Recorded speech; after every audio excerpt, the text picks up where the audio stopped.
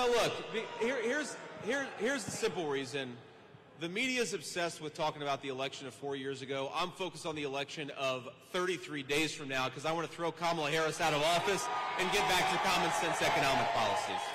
If you believe in American democracy, if you believe in our constitutional republic, you should be trying to strengthen American election integrity and not weaken it. So we're going to talk about election integrity because I believe that every vote ought to count but only the legally cast votes. And that's why we fight for election integrity, and that's why we care so much about it. I think that we make it way too easy for people to fraudulently vote in this country, okay? I think that we should have passed the SAVE Act that would have ensured illegal aliens don't vote in our elections. Apparently, Kamala Harris disagrees because she fought that legislation every step of the way.